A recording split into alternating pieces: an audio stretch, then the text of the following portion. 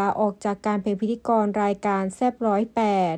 ทางช่อง 8 สิ้นเดือนมิถุนายนนี้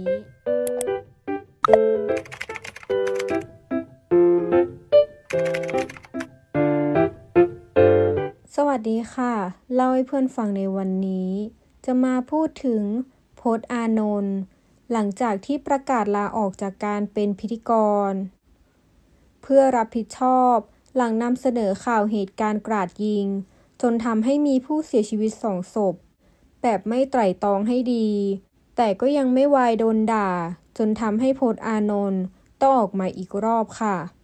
เรื่องราวเกิดมาจากที่โพสต์อานนท์ได้ทำหน้าที่เป็นพิธีกรรายการแซบร้อยแปดได้หลุดคำพูดกรณีคนร้ายยิงพนักงานเซเว่นตรงปากซอยลาดพร้าว 25 ว่าทำไม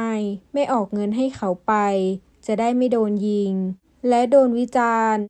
เนื่องจากเจ้าตัวมีการหัวเราะออกมาระหว่างการนำเสนอข่าวด้วยทำให้โดนสังคมโจมตีอย่างหนัก ว่านี่เป็นสิ่งที่ไม่เหมาะสมมากๆ และโดนทัวร์ลงอย่างหนัก ในวันที่ 25 มิถุนายน 2564 พจน์อานนท์จึงได้ออกมาแสดงความรับผิดชอบ และขอโทษแฟนรายการ ด้วยการขอลาออกจากการเป็นพิธีกรรายการแซบร้อยแปดทางช่อง 8 สิ้นเดือนมิถุนายนนี้ และเขาก็ยังย้ำอีกว่า เขาไม่ได้ดูถูกคนจน แต่ก็ไม่อยากให้เกิดความขัดแย้ง ที่จะนำไปสู่ความรุนแรง แต่แม้สุดท้าย พจน์อานนท์จะรับผิดชอบด้วยการลาออกจากการเป็นพิธีกร แต่ก็ยังไม่วายโดนทัวร์ลงอย่างหนัก จนล่าสุดทำให้พจน์อานนท์ ได้เคลื่อนไหวผ่านอินสตาแกรมส่วนตัวอีกครั้ง พร้อมฝากถึงชาวเน็ตเกรียนคีย์บอร์ด ว่า รู้ใช่ไหมว่าจะอวดอะไร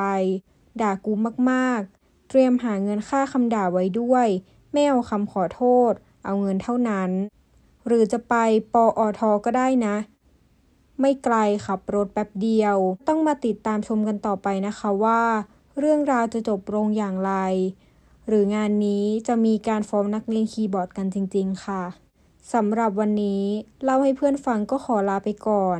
สำหรับใครที่อยากจะให้เล่าข่าวไหนให้ฟัง